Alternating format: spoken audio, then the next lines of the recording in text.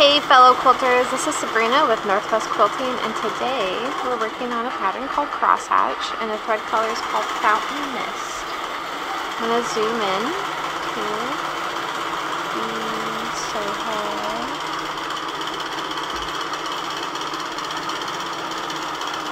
Making those nice clean lines. This is a really lovely pattern always looks really professional. zoom back out. It looks really good with this green and the green minty on the back. Okay, thanks for watching.